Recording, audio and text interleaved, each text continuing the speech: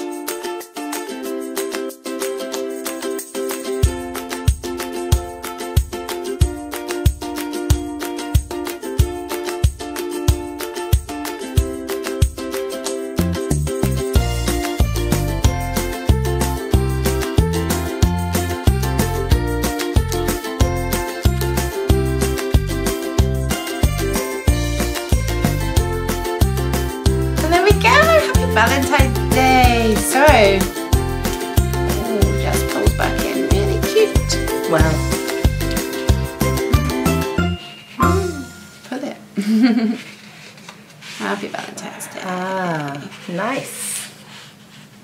Ta-da! All ready for the man in your life, the lady in your life, whoever you love, darling. Love it. Love it.